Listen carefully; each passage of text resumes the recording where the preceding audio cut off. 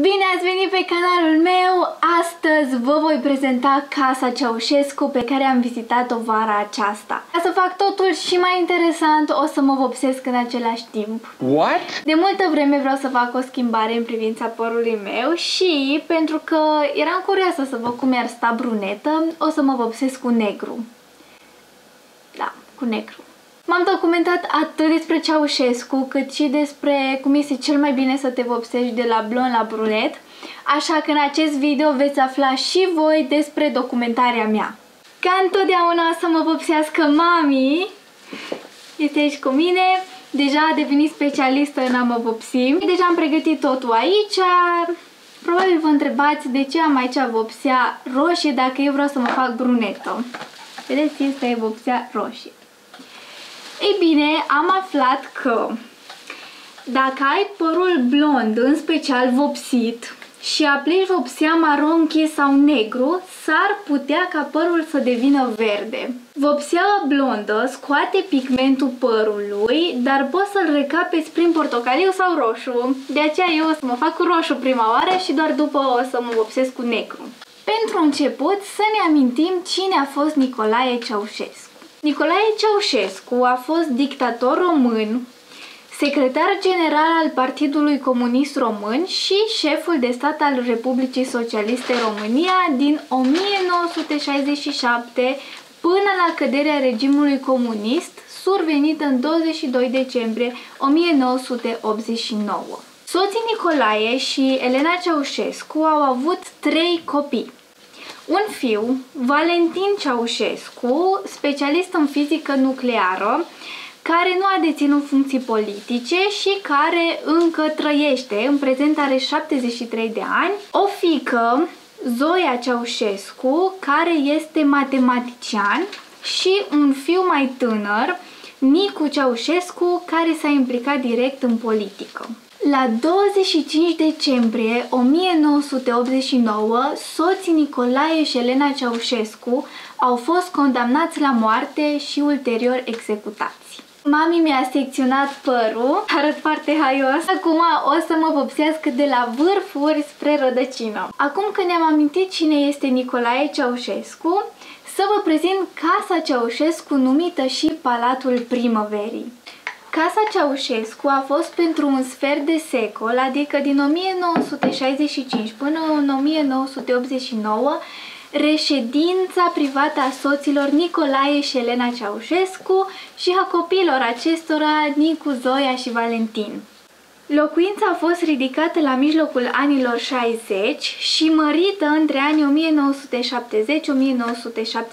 1970-1972. Datorită arhitecților Robert Vol și Acripa Popescu, Casa Ceaușescu este spațioasă, are volumetrie echilibrate, iar decorul interior este luxos și confortabil. Pentru ornamentele interioare din lemn s-au folosit esențe de lemn de diverse culori, autohton, stejar, paltin, cireș, nuc și exotic, mahon, trandafir, păr african și cireș canadian. În incinta expoziției se regăsește o impresionantă colecție de tablouri, o mulțime de tapiserii lucrate manual, plus un mare număr de mozaicuri. Dar ai culoare pe sprânceană, ți se face portocalie dacă nu te șterg. Mi-ai șters de tot? Mi-ai șters de tot? nu. Am uitat să luăm șervețele. Holul principal este la parter. Un hol impresionant care face legătura cu alte încăperi și cu scările care duc la etaj. Tot în hol găsim și un pian mare. Următoarea încăpere este biroul lui Ceaușescu. Aici obișnuia să-și petreacă diminețile citind presa și unde se ocupa de activitățile politice. Din birou intra în anexă unde se relaxa jucând șah. Ceva interesant ce ne-a povestit ghidul este că cine se juca cu Ceaușescu șah trebuia să se străduiască să piardă jocul, deoarece lui Ceaușescu nu-i plăcea să piardă la joc, dar în același timp trebuia să joace foarte inteligent, pentru că în același timp nu vroia să se simtă ca și cum au fost lăsat să câștige jocul respectiv. Și mm, era foarte interesant pentru că mm, jucătorii trebuiau să fie foarte inteligenți. Tot la parter se află și apartamentul lui Valentin, adică fiul cel mare. Apartamentul cuprinde un spațiu de lucru, un dormitor, garderobă și baie. Salonul de zi, un impresionant spațiu de odihnă, era utilizat de familie pentru ocazii speciale. Din living intrăm în sufragerie. Sufrageria era compusă din trei zone. Prima zonă, aici se organizau mese festive. În a doua, familia Ceaușescu lua masa în fiecare zi. Iar în a treia zonă, se relaxau după ce mâncau. Am observat că soții Ceaușescu aveau foarte multe locuri în care se odihneau și relaxau. Este un lucru destul de interesant. Acum haideți să ne ducem la etaj.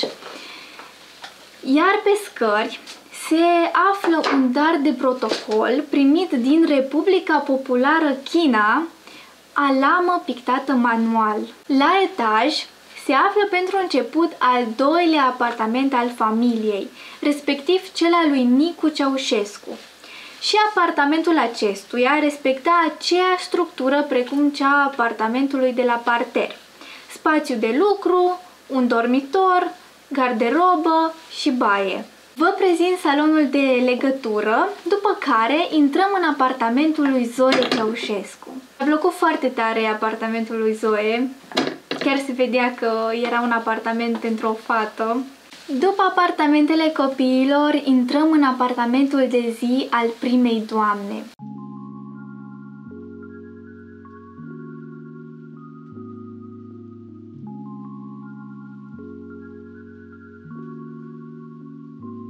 Să vă prezint apartamentul soților Ceaușescu, care este alcătuit dintr-un spațiu de odihnă secundar care face legătura între dormitorul Elenei Ceaușescu și apartamentul soților Ceaușescu, un birou secundar din apartamentul dânșilor, dormitorul dânșilor și o baie în stil roman cu mozaic lucrat manual, cu materiale aduse din afară, mai ales din Sicilia. După apartamentul comun, ne îndreptăm către sera interioară a reședinței printr-un salon de legătură. Iar aici aveți poze cu sera.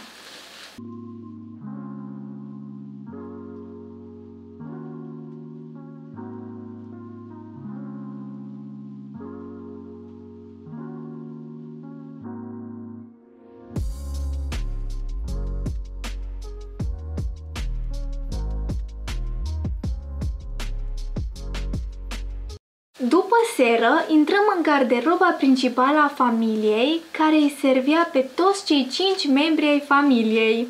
Cu alte cuvinte, aici îți ținea fiecare restul hainelor.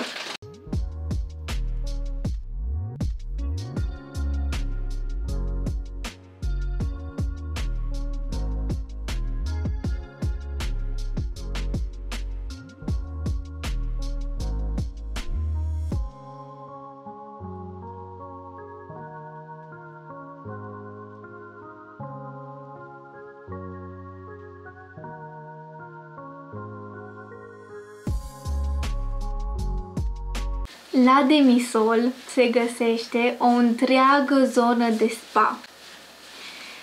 Fizioterapie dotată cu aparat cu abur sau o zonoterapie, dușuri reci scoțiene, aparat de electroterapie și jacuzzi, saună, coafor și solar. Zona de spa se continuă cu piscina reședinței cu un splendid mozaic de aproape un milion de piese asamblat în circa 3 ani. Piscina are 15 metri lungime și 2,5 metri adâncime.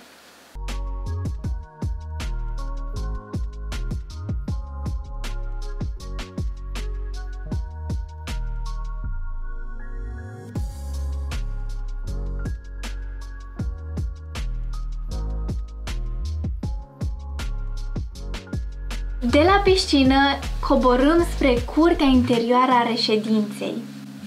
Așa arată curtea.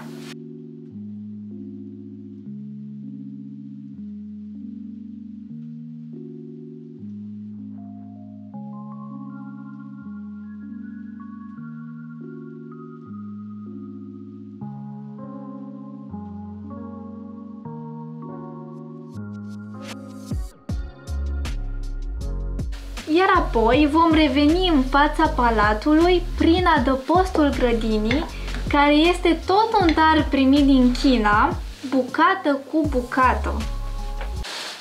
Așa arăt, wow!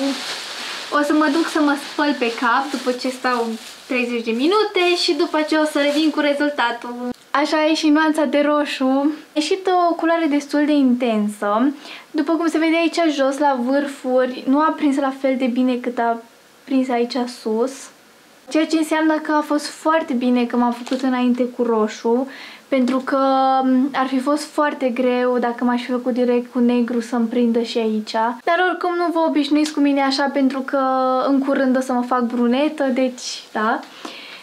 Și în partea a doua vă prezint Casa Poporului și Muzeul de Științe Naturale, la care am fost tot în vara aceasta, în timp ce mă voi face brunetă. Sper că v-a plăcut acest video, nu uitați să apăsați pe butonul de like și de subscribe dacă vreți să faceți parte din această comunitate superbă și dacă vreți să vedeți ceea ce postez în continuare, iar noi ne revedem data viitoare. Ciao!